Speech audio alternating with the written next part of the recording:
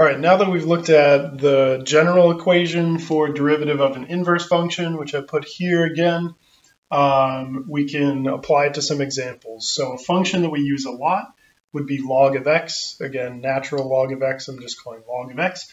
Um, we might want to find its derivative, and we know what its inverse is, or at least I hope we know what its inverse is, right? So its inverse is e to the x. So we can write it this way, right? Let e to the x be the original function because we know how to find its derivative. And the function we want to know, right, is our inverse. So f inverse of x is log of x. So we start with that orientation. And of course, this was one of our greatest properties that f prime of x in this case is just going to be e to the x, right? e to the x repeats itself.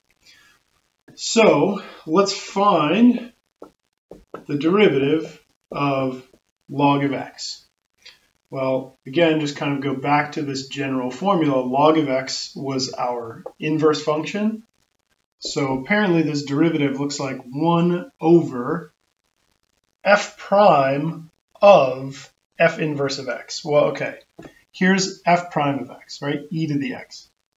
But instead of just an x, right, that's, that's that of the inverse function, so e to the power of natural log of x. Well, okay, that looks maybe not so great. It's not the worst thing, but we can simplify this a little bit. e to the log of x, because they're inverse functions, those two should cancel each other out. So we just get 1 over x which is a pretty nice derivative as well.